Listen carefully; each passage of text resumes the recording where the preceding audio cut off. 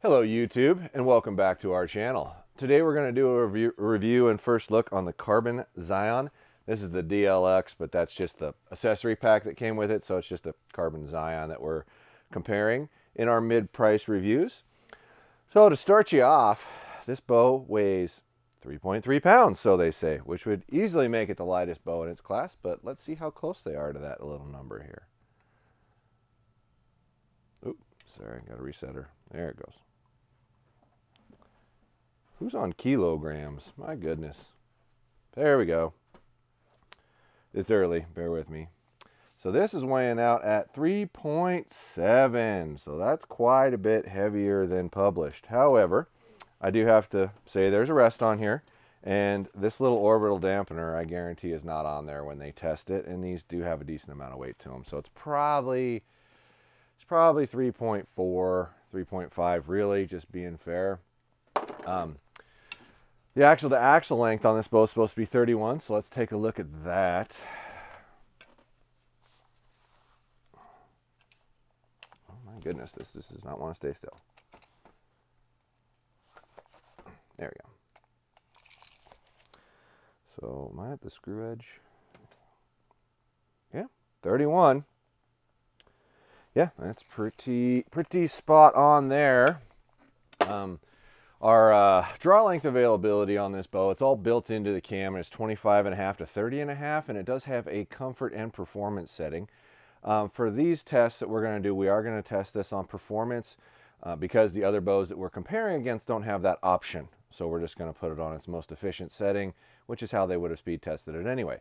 Speed says it's 335 and the brace height is 6 and 5 eighths. So let's check that out. There you go. Six and five eighths. That's spot on. So uh, the predecessor to this bow was the Carbon Icon, and the only real difference between this bow and the Icon is the, the grip is actually contoured quite a bit more.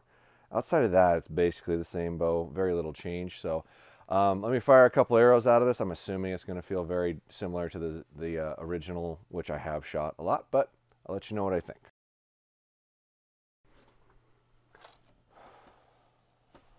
So this is at 70 pounds and 30 inches with a 350 grain arrow, just like every other thing we test. Cycle is pretty darn smooth. Um, no humps at all. It's stouter in the front end than most.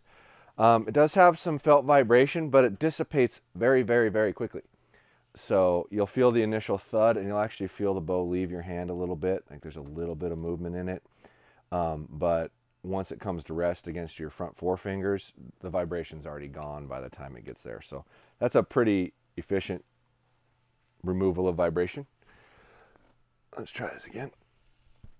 Yeah, that's a really good draw force curve for a mid-priced bow. I want to say this bow's $700 if I remember right. Um, yeah, there's there's more forward movement in this bow than the Torrex XT that we tested yesterday. Um, but the Torrex XT had quite a bit more longevity on the vibration, um, where this bow is fires, you feel it, and then it's gone.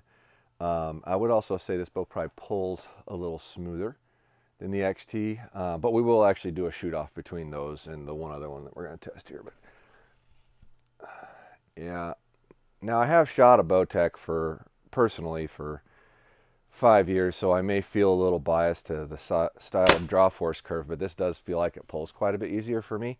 So much so that I'll be surprised if it's not slower than the XT because it just does feel smoother. So let me go grab those arrows. Three more. This one I'm really going to grip the bow hard and see if I can feel the vibration just a little bit better.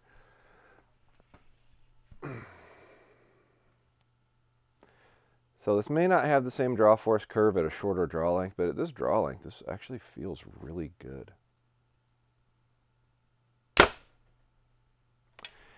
Yeah, um, that, that, vibration dissipates really fast, and it really surprises me not having any string silencers on here anywhere, that it dissipates that fast, because usually a lot of that is the string or cable movement after it goes off.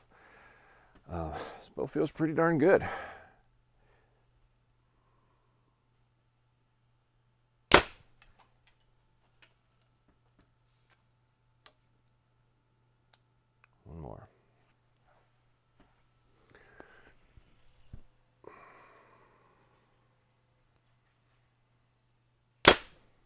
Yeah, that's pretty darn good. Like I said, there's there is some vibration. All right, here's our speed test looking for 335 feet a second on the Carbon Zion at 70 pounds, 30 inches with a 350 grain arrow. Let's go.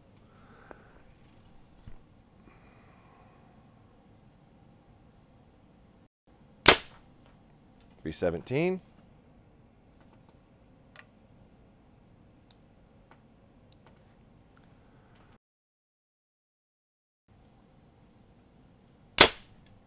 317.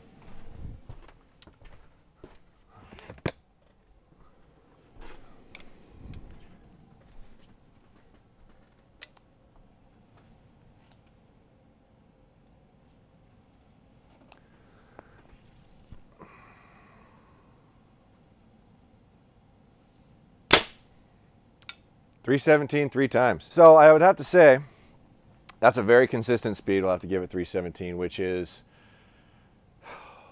18 feet slow. That's a lot.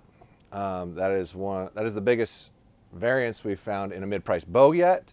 Although we haven't shot the third one we're going to shoot, um, so that's a, a bit disappointing, um, but not exactly surprising for a cam system that really hasn't been changed in like 10 years. I mean, it's basically the same bow since the Knight. Yeah, there's small changes, but it's the same base design, so it's not exactly shocking that it's not you know blowing the doors off in speed.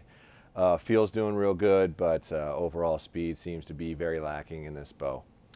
So those are my thoughts on this. Head on over to podiumarcher.com for all your archery needs. $99 and up is free shipping. If there's stuff you're looking for that you can't see, please message us. Let us know if we're allowed to ship it. We'll get it on there and get it shipped to you as quick as we can. Ship all over the country. Um, check back for our next review. We'll be on the PSE Embark. Uh, and then we'll do a showdown between the three to try to tell you which one we actually think is the best head to head. Uh, hit like, hit subscribe, keep uh, checking the comments down below and add your own. Let us know what you think. Love to hear the feedback, good, bad, ugly, indifferent. I love it all. So thanks for getting back to us. But more importantly than anything, thanks for watching.